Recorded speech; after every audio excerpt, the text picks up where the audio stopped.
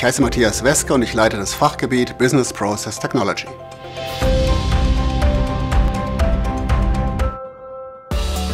Wir interessieren uns für Geschäftsprozesse. Wir interessieren uns insbesondere für die Frage, wie wir diese Prozesse präzise beschreiben können, wie wir sie durch Software unterstützen können und wie wir ihre Ausführung analysieren können.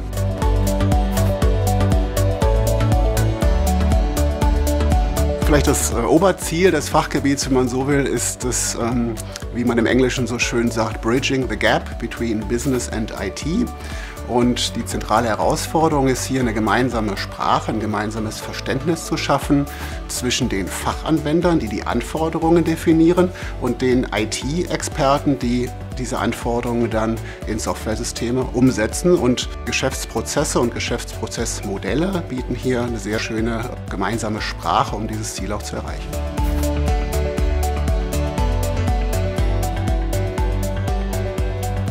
Geschäftsprozess ist ja nichts, was man zunächst mal anfassen kann, ist etwas, was in Unternehmen passiert oder auch in Softwaresystemen passiert.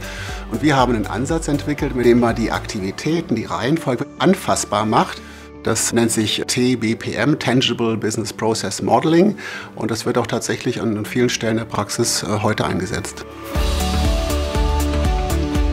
Im Forschungsprojekt SMILE, das vom Bundeswirtschaftsministerium gefördert wird, untersuchen wir die Zustellprozesse der letzten Meile. Kernidee dieses äh, Projekts ist es, eine Integration der Transportunternehmen vorzunehmen, sodass nicht mehr ein gelbes, ein braunes und ein weißes äh, Zustellfahrzeug eine Straße lang fährt, sondern dass tatsächlich noch ein Fahrzeug ist, in der die äh, Pakete integriert dann zugestellt werden erstmal ist der Bereich der Prozesstechnologie sehr spannend, weil er sehr breit aufgestellt ist. Es geht um Theorie, es geht um Formalismen, es geht aber auch um die Entwicklung von Softwarearchitekturen und Softwaresystemen zur Unterstützung von Prozessen. Und das ist also wirklich was, was mich jeden Tag antreibt und was auch sehr viel Spaß bringt.